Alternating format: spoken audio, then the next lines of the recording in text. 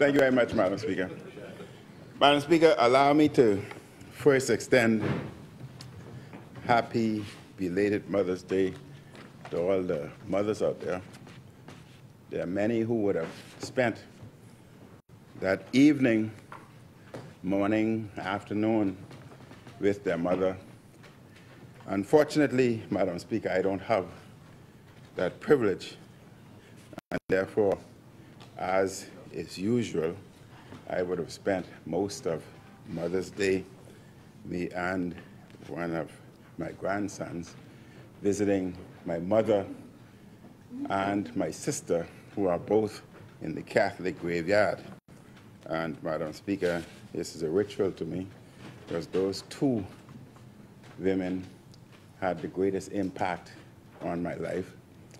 And I can say without reservation or fear that they were the two women whom I loved most in this world. Madam Speaker, we had a, Killarney had a very great, successful town meeting on inflation, and um, I'd like to thank those who came out. As a matter of fact, the town meeting was so great that they've asked for a repeat, and we would have a repeat uh, at some particular point in time. A specialist from Central Bank came and spoke about inflation. And we look forward to the town meeting that um, the Ministry of Works um, has offered to extend to us. Uh, we'll be talking about traffic flow and what can possibly be done to alleviate traffic that may be a problem as um, time progresses. And I want to thank the minister um, for that. I also want to thank the minister, Madam Speaker, who has responded to us um, quite swiftly anytime we um, point out the various potholes. And we find it very convenient, and I think it's something that other um, constituencies should do. We would only do GPS mapping, and we send a GPS location to the ministry, which makes it very easy for them. And within um, rapid time, they are there to repair such facilities. And I think if we're one, Bahamas, one Bahamas we must um, assist so that the entire Bahamas move forward. It's not a, it's not a difficult day today. And um, I want to thank the minister also for the speed bumps that he had put in Tropical Gardens. We were plagued with motorbikes, we were plagued with heavy traffic, vehicular traffic, noise, pollution, etc. And I can say with confidence that that has decreased since, since the ministry had placed uh, speed bumps in our thoroughfare that had decreased by as much as 70, 80%. But, Madam Speaker, as I rise today on behalf of the great people of Killarney, I must voice strong objection to how the PLP is running the agenda of this House. We were scheduled today to debate the Ombudsman Bill and about 24 hours before we were to debate, the governing side informed the opposition that there would be other legislation debated instead of what was scheduled. The Ombudsman's bill was being pulled, according to the government, for more consultation. Mr. Speaker, this means that the PLP was yet again rushing another bill without proper consultation. They did it the same time, the they did the same thing some weeks ago when they pulled the Tourism Development Corporation at the last minute for more consultation. Madam Speaker, I take my responsibilities as a member of this House on behalf of the people of Killarney very, very seriously. I prepare in order to present a considered view on the matter before us. Members cannot have a proper view of this new amendment to the regulations of the Antiquities, Monuments, and Museum legislation due to the short notice of this debate. The work in Parliament, Madam Speaker, is serious.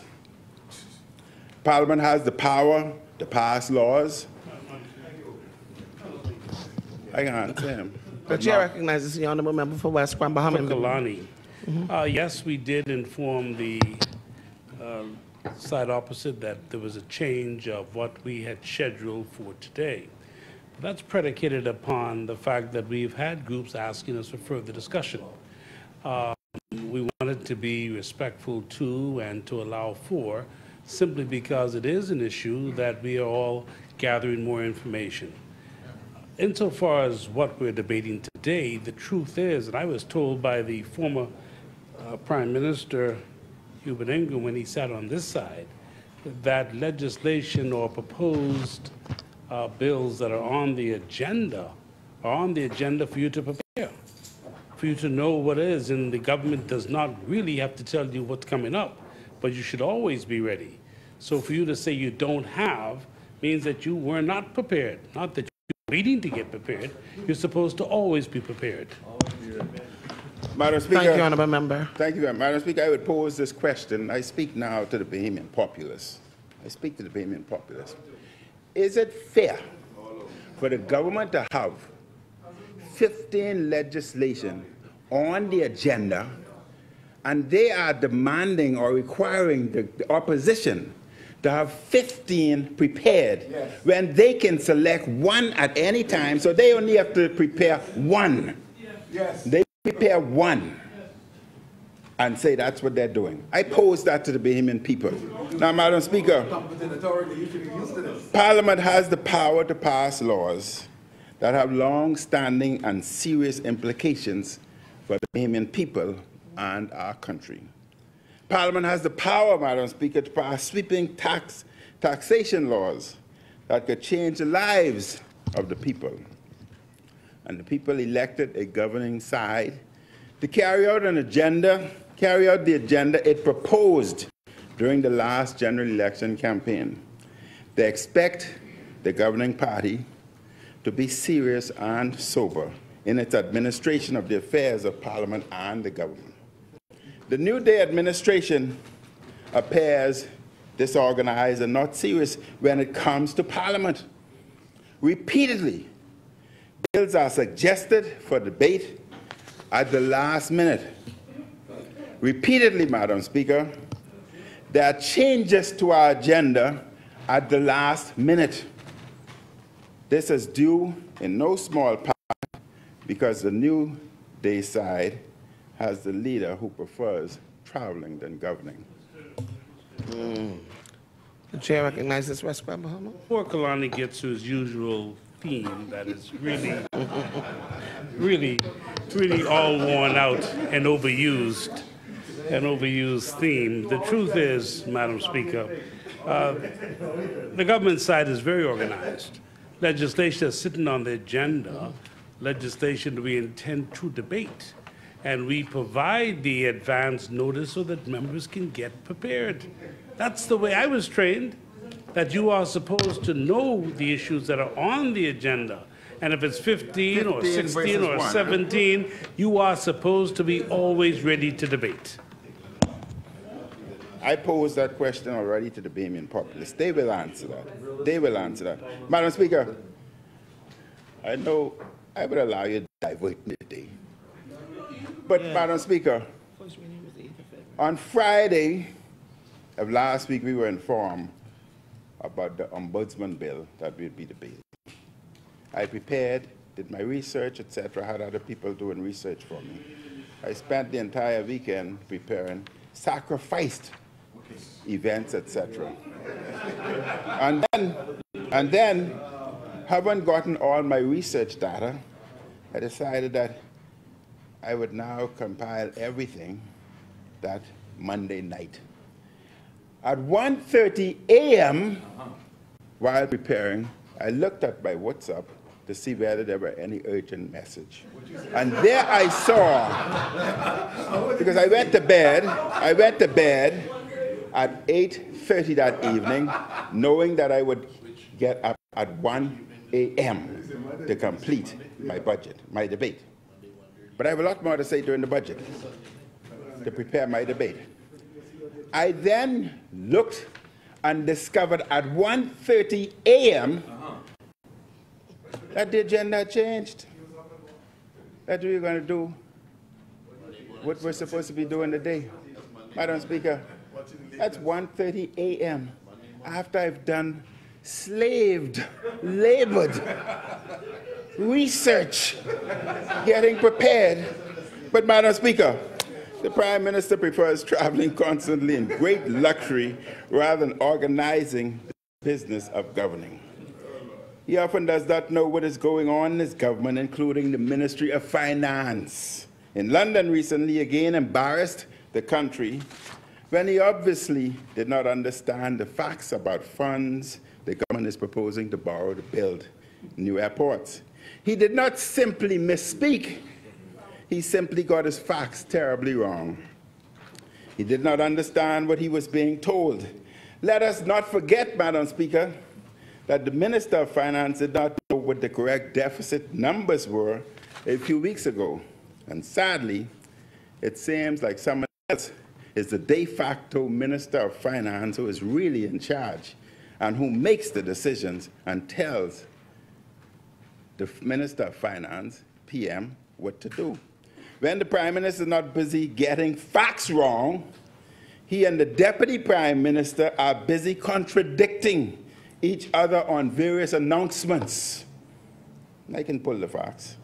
The Cabinet is in chaos. I can pull the facts. There is chaos in Parliament, as demonstrated today. The chair recognizes the honorable member for West Grand Bahama and Bimini. You know, the, uh, the, the, the member for Killarney uh, makes it laughable, Madam Speaker, because it is laughable, Madam Speaker, because the member is talking about not being prepared for this debate. He could not prepare the facts. But we heard from Carmichael earlier that we are here pretty much because of an agreement you made. You made this agreement. You caused for the individual to be able to go and search for and come up with. It was your arrangement. So you don't really have to do much preparing because you should be speaking to it because you know it.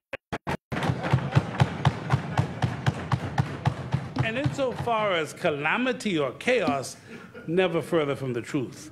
We are an organized body, we're a team, and we are collectively working for the best governance of this country.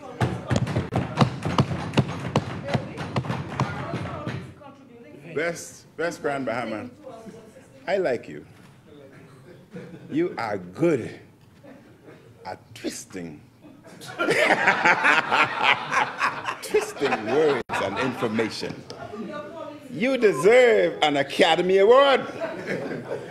Madam Speaker, and there are many serious, there are many stories of chaos at the office of the Prime Minister, with consultants all over the place, large and in charge, while the Prime Minister jets around the world in first class with big delegations, spending millions. He seems unconcerned about the details of government, except making announcements about things that will never happen. Madam Speaker, the PLP has no serious parliamentary agenda which the country saw from day to day. They simply grab bills that are in the bureaucratic drafting stream and bring them here. There's no clear plan, strategy, or vision. He liked to talk about plans when in opposition. In government, the main plan he has is where he like where he will take his next trip overseas. Has he left yet? He's still here or he left? This September, the PLP will be in office for two years. In government and in parliament, they are disorganized, they are chaotic, they are dysfunctional, and they are inefficient, and they are last minute.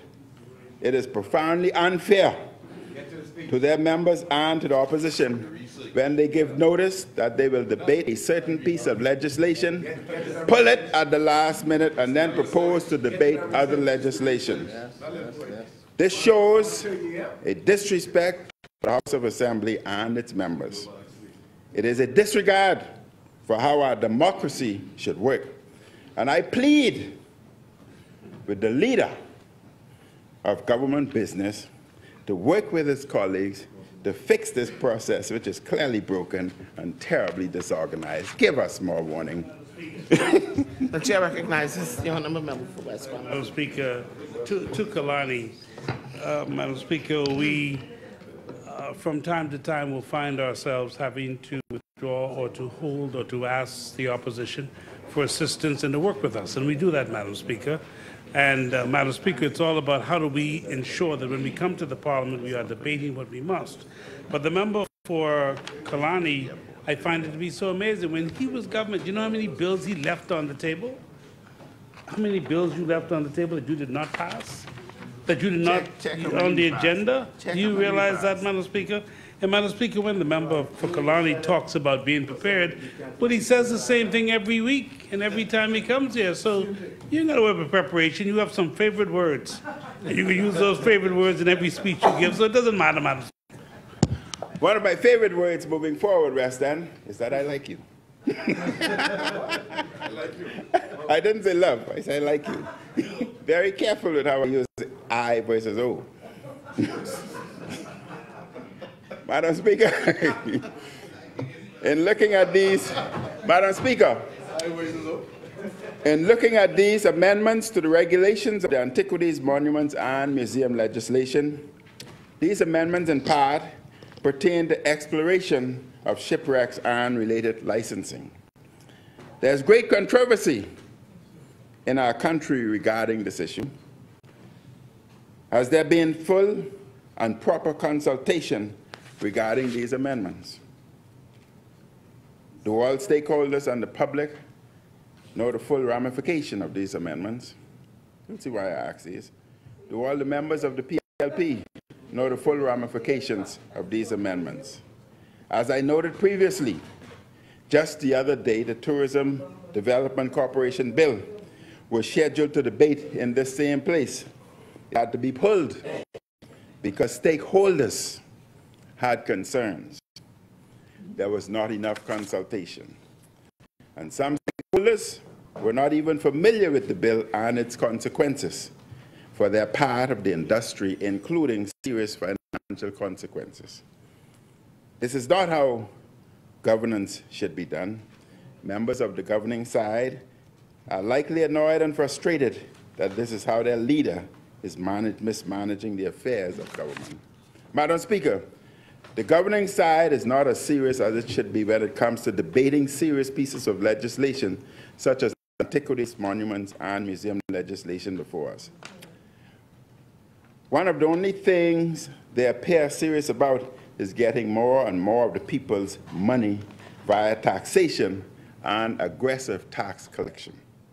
This debate comes at a time when the newspapers are filled with stories about the actions of the New Day administration's tax collectors. An ad was recently circulated by the Department of Inland Revenue detailing its powers of sale under the Real Property Tax Act. Another ad from the Department of Inland Revenue warned of the department's other powers. It said to recover VAT, business license taxes, or real property tax, the department may, quote, garnish amounts due to a taxpayer from a third party. For example, an employer, tenant, customer, or bank. Or garnish a third party who has authority from some other persons to pay money to the taxpayer, for example, an agent. Madam Speaker, this New Day administration is causing fear and extreme anxiety across this, across this country. The Bahamians do not know whose things they are coming to seize next. If they come after you, you could end up broke or destroyed. A story in Tribune on Monday, May 15th, 2023, set out what this hostile New Day administration is doing. The headline of the story was Crackdown on Tax Cheats, Most Coordinated Ever. They're using the full powers of the state to go after Bahamians and Bahamian businesses. The story said, quote, Simon Wilson, the Ministry of Finance's financial secretary, speaking after the authorities last week, warned they will exercise the power of sale against extreme real property tax delinquents, said the government has hit an iceberg when it comes to enforcement and cannot and will not ignore blatant failures by taxpayers to meet their obligations, end quote. The PLP and the Minister of Finance is going after the very people who voted for them. All reasonable people think taxes should be paid, but tax collection should be done with fairness, due process, and decency. And when the money is collected, it should be used for the benefit of the people. The New Day administration is obsessed with getting all the money they could get. They have to find a way to pay for these travel and good times reserved for selected few. They have to find money to pay for all PLP consultants. And sadly, this administration has unleashed the tax collectors in an unprecedented way against Bahamians. Many people and businesses are just trying to get back on track after difficulties of the pandemic. Right at the moment when money starts to come in, the New Day tax collectors are threatening, let me repeat this, important. Right at the moment when money just starts to come in, the New Day tax collectors are threatening to seize and sell properties and to garnish accounts. There is no mercy for the people by the Ministry of Finance. The Minister of Finance only wants more and more and more and lots more. Bahamians are suffering under a PLP obsessed with getting the people's money. As the Prime Minister, who is Minister of Finance, flies around the world in luxuries, tax collectors are wreaking havoc in our lovely Bahamas. These hostile and overly aggressive actions by the New Day tax collectors are cruel and excessive. Give me, give me that file, the blue one, the blue, the blue, the blue one in there. The PLP is hurting Bahamian businesses and business people through its heartless tax collection. It's got everything. And tax crusade.